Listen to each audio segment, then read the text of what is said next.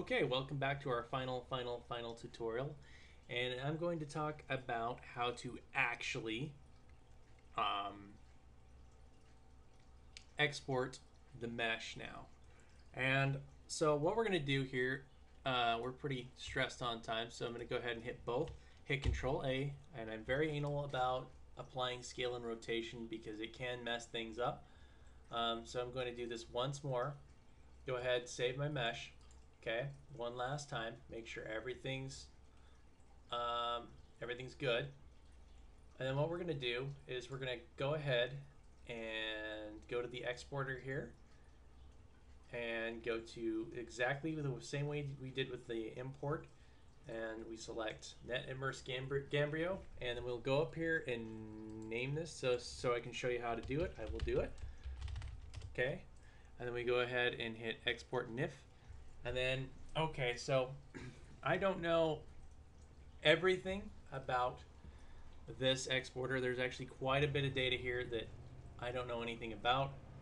Um, there's just it's just very hard to know everything. So uh, okay, so first off, um, we want to make sure that we're exporting the correct materials. So up here, we have in the, the top left-hand corner, you'll see export geometry plus animation, export geometry only, and export animation only. Export geometry plus animation, I sometimes use it for exporting characters so that I can make sure that that rig data is exported as well.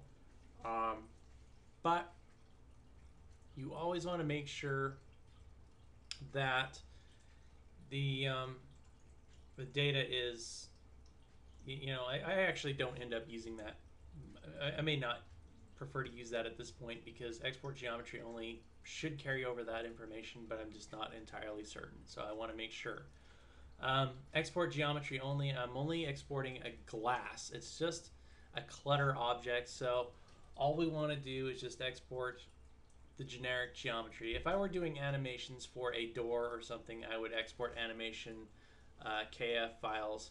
The only time I would use animation, the export geometry plus animation for animating statics is if I only wanted to export and have it use one animation. For some reason, when I export it um, with the animation file um, connected to it, it it only uh, it doesn't seem to save it correctly. It only sets it as an idle, and um, so it, it'll take a little more experimentation with that to get everything down pat. I usually do the export and open and then the close animation separately in KF files, then export the and export the geometry itself, and then I put it all together in NifSkope. Is usually how I do things like doors. So. Um, that kind of covers that a little bit. Um, and then the other things you want to go in here, and I'm not sure what this all is for. It might actually help you to import your animations with your your data, but you know we want to with your geometry, but I haven't used that. So uh, always, always make sure that when you export anything for Fallout, that you have Fallout selected. This was this exporter was made for several a bunch of different games as you can see a whole bunch of crap down here a lot of this is a lot of these settings are for things like oblivion as well so as you notice down here there's something called in the lower right hand kind of in the middle actually it's called weapon body location and these are for weapons you might actually use these for um, fallout games um, they're probably better for Oblivion for a lot of stuff like quiver, shield, helmet, ring, things like that. They're all going to be for body locations for weapons and things like that. Okay. Um, so over here, back on the left-hand side, you're going to see Force DDS extension. That's that deals with texturing, Stripify geometries down here just below that. And it deals more with uh, it'll rebuild the mesh itself. Um, you can also do that inside of NifSkope itself. The only time I would use that inside of NifSkope itself is to rebuild a body mesh for a character. Sometimes when you export the body mesh or a clothing mesh, it won't show up properly until you uh, stripify the geometries inside that. When you do that, um, you may actually end up with holes in your mesh. If you look at the mesh, it looks like there's holes inside of NifSkope. There really isn't. As long as you leave your stencil property on, it will you'll have back facing, so you'll be able to see double-sided faces. You can see on both sides of the face uh, of each triangle. So it doesn't matter. Those holes will show up inside of NifSkope, but they won't show up inside the GECK or inside the game uh, itself. Stripify geometries is something I would turn on. Um, probably it might actually save you that step. I'm not entirely certain, but I would just leave it on just in case. Uh, smoothen inner object seams and flatten skin and export skin partition, I believe, is more for uh, making sure that you correct seams and that you don't have as many problems with seams, especially with characters, character models, and anything animated. Uh, that's especially stuff that's rigged to um, to an armature or a skeleton. Um, combine materials to increase performance, something that you probably will want to do. To you know, you want things to run fast and smooth. Um, and then up here, I'm going to talk a lot about collision options. Um, up here, you'll notice that you have um, different settings. Like you have static, animated static, clutter, weapon, creature, right? So in here you have each one of these is a different um, setting for collision options. And you'll actually find these settings inside a mesh itself. Okay, so if I were to open up my C drive right now, um, do. Actually, went in the wrong. Okay. If I went into my C drive and I opened up uh, table round, okay, we're going to go ahead and open that with NifSkope. Um, second here while it loads. And there we go. Okay, so if we go under the collision data here, you'll notice that under uh, rigid body, you'll see different kinds of um, settings here. And you notice how I talked about this red outline for collision mesh as well. That red outline depends on what you're actually, uh, what the object is. So for instance, I could take this table and I could set it to an animated static. If I wanted to animate this, I would set it to animated static. Notice how that changes um, to purple. Okay, that's because it's designed, this particular mesh is designed for animated statics. Okay, so that's just another thing to make note of. Um, also, you have your BSX flags, which you'll notice inside of NifSkope as well. Um, that's something else that's very, very important. Um, I would leave it at default probably. Your mass will tell it how heavy it is, um, so you may want to play with that setting.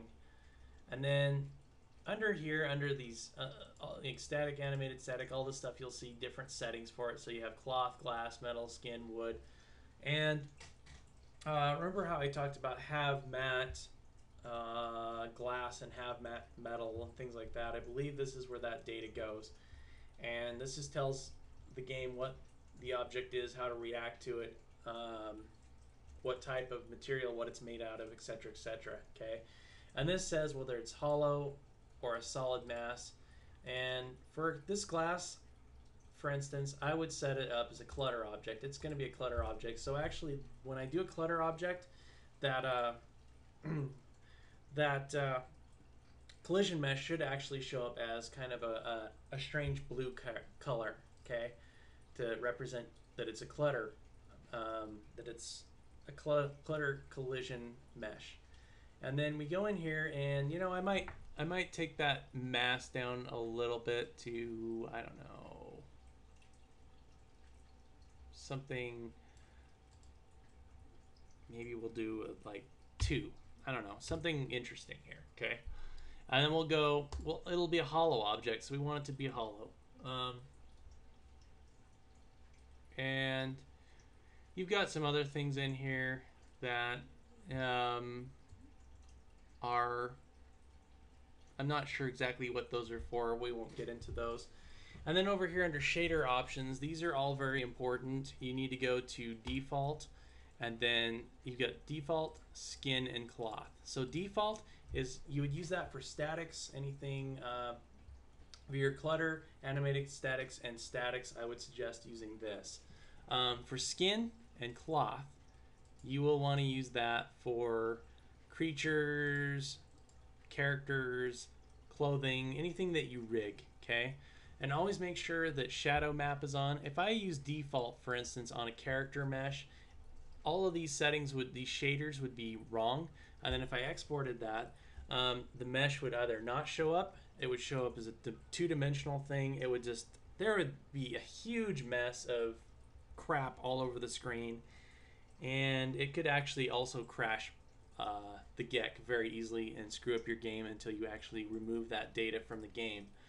Um, you may actually even have to go through and and edit your uh, ES, ESP file to get rid of it or delete it out of the, the level if possible. It's just a pain. Um, the other thing you're going to want to do so make sure to always always have this stuff set up um, set it to default. Uh, in this case, it's it's static, right? We're using, um, actually, it's we want it set on three, so it's glass, it's clutter, glass, hollow, and we wanted a massive, oops, of uh, two here. And then we want to make sure we have all the defaults on. One other thing you absolutely must add is Shadow Frustum. For some reason, if you do not have this on, I don't know why in the scripts it doesn't just default this for Fallout 3 settings and Fallout New Vegas settings because it is required pretty much for the most part. If you don't have that on, a lot of times your mesh will not show up. It'll just be invisible and won't exist, okay? So make sure that you always have this on. So we're going to go ahead and export this model for now. Okay. And we're going to go into our C directory here. Um, we're going to go down here to uh, to our wine glass and open it up. Okay. Oops. Okay. Sorry about that. Um, a little bit of brain fart there open this up and we're kind of running on, tight on time so I'm going to have to go through this very quickly. Notice that we have BSX flags here. Um, you can go in here and change these. For instance, you want Havok and Collision because it's a clutter object. You don't need any skeleton or animation and, or flame nodes or anything like that. Um, if you do furniture objects, you'll want to add furniture markers and add that data in manually here. I don't know if you can do that in Blender. It may be possible, I'm not sure. Okay, so we go in here to BK collision objects and you'll see that our mesh is set up correctly. You'll see that it's set as a clutter object down here and down here. The response is simple contact, which is what you want. Our um, collision, uh, our collision mesh is a mop object, and you'll see that it um, is set to have matte glass as we set it up in Blender. You can actually change all these settings to whatever you need them to be and edit them in here and then save it out. Just be very careful when you're doing so because you can't undo settings and you'll have to re-export it in order to uh, redo everything. Okay, and then you see your data down here. Um, and then we'll go down here to tri-strips. This is your mesh itself. You can edit the material properties, you can edit the alpha channel, all that. You can make it emissive so it can actually glow. You can uh, tell it to emit and how much light to emit from it, what color of light to emit from it. This is the tri-strips data itself. Um, we'll go back up here into under shader lighting property, expand that out and you'll see texture set. Go down here into block details. Check down here and it actually did set our uh, our information when we exported it out. It did apparently set up our data correctly, so you can do it in Blender. In fact, I was wrong about that. I do apologize. Um, and here's your wine glass in. It actually will remember, each time you do this, it will remember where the last directory that you were in was located. So if your last directory was in glassware, it, uh, it was in my directory where I have my textures and it will go there for the next one. And you just set those up. As you can see, this is great. Um, in here, you'll see that we have an alpha property and a stencil property. Otherwise, if And um, I may actually cut this off at this point. So we'll talk to you guys in the next video.